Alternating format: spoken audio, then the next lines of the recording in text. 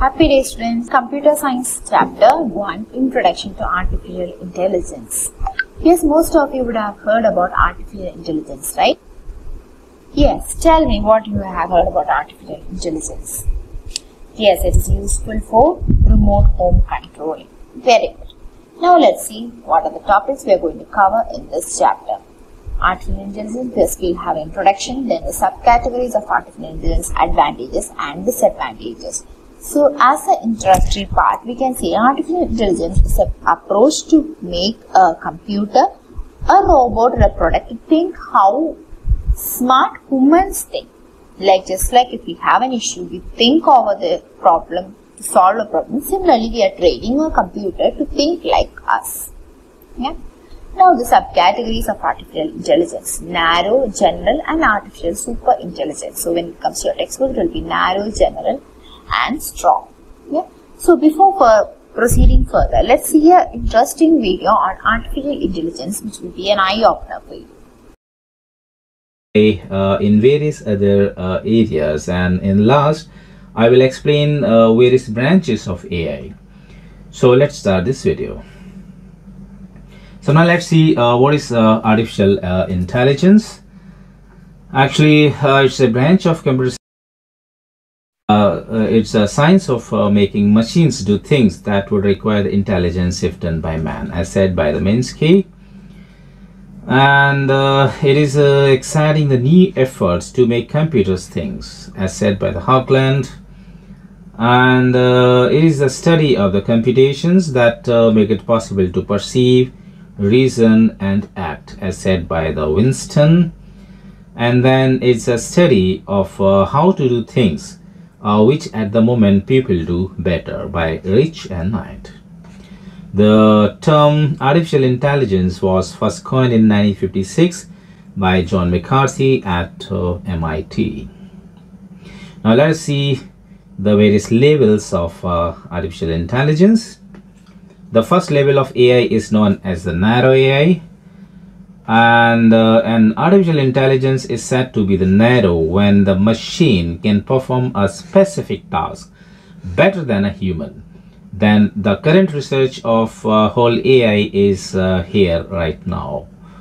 And the next level is the general AI so an artificial intelligence reaches the general state when it can perform any intellectual task with the same accuracy level as a human would.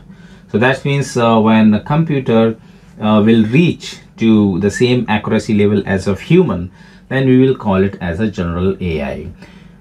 And the last one is a strong AI.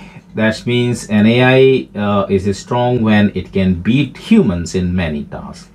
So obviously the second level and the third level are uh, far away uh, from the reality the most of the AI uh, current state of the AI is uh, under this category that is the narrow AI so let's see uh, what time will come when we reach to the second or the third state.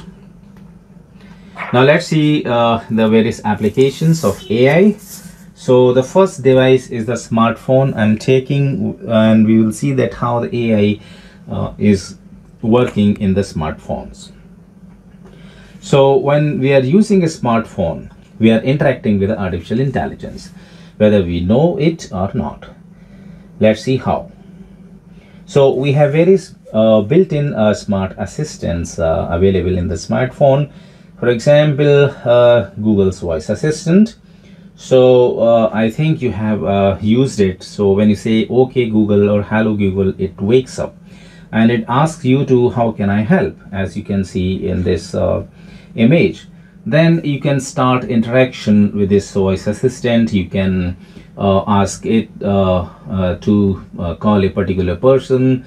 Uh, you can ask it to fix a meeting. You can ask uh, this voice assistant to find a place on a google map. You can find you can ask it to play a particular music etc so lots of things you can do with this voice assistant so similar voice assistants are also found in uh, uh, various other uh, smartphones and they are developed by various other uh, companies such as uh, Apple. So Apple uh, has developed Siri. there is another Smart Assistant, uh, Bixby by Samsung, and uh, Xiao AI by Xiaomi, and then Cortana by Microsoft. Uh, of course, uh, that is not in smartphone. Uh, it is for PCs, and then Alexa of Amazon. So Alexa uh, is a very famous. Uh, you might have uh, seen various advertisement in TV, or you might have actually used these standalone devices, Alexa devices. So you can interact with Alexa, such as uh, you can ask it to uh, play a particular song. You can ask it uh, to do a particular things when it is uh, uh, combined with other hardware, such as uh, uh, lights, fan, etc. You can give commands to operate them. Uh, now uh, another thing is the camera uh, which heavily uses artificial intelligence let's see how so uh, the one thing is uh, when we take portrait mode uh, with a single lens okay uh, with a single lens then uh, ai uh, uh, plays its role. Generally uh, you find a two camera setup uh, in mobile phones for taking such portrait mode. Portrait mode actually means uh, human face is highlight while the background is uh, blurred as you can see in this photo. So in two camera setup actually one camera is the main camera while other camera is used for uh, depth. So uh, such photographs uh, can be captured with uh, these two camera setup. Uh, but what happens uh, if there is only a single camera? Still you have seen that various uh, phones are able to capture this portrait mode photo with a single camera. So this is done actually with the help of ai where artificial intelligence actually locate the human face and then it uh, identifies uh, uh, edges and then it uh, uh, blur all the non-faces objects like this. So here ai uh, is playing its role. And the second thing is the camera setting optimizations based on the scene.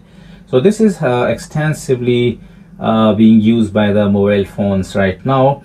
Uh, you can see that generally various mobile companies advertise their phone with the uh, that they, they they have the camera with the ai i mean the ai camera in the phone. So this is what uh, they actually mean. Uh, generally uh, based on the scene the camera setting is uh, optimized. I mean if you are taking a photograph of food or photograph of a, a room or photograph of a flower or a photograph of some natural scene so based on the contents of uh, that scene the camera settings are automatically adjusted by the artificial intelligence so we can get the uh, best photograph uh, uh, from these settings. So these settings are such uh, such as exposure shutter speed iso level or uh, camera focus and uh, camera aperture etc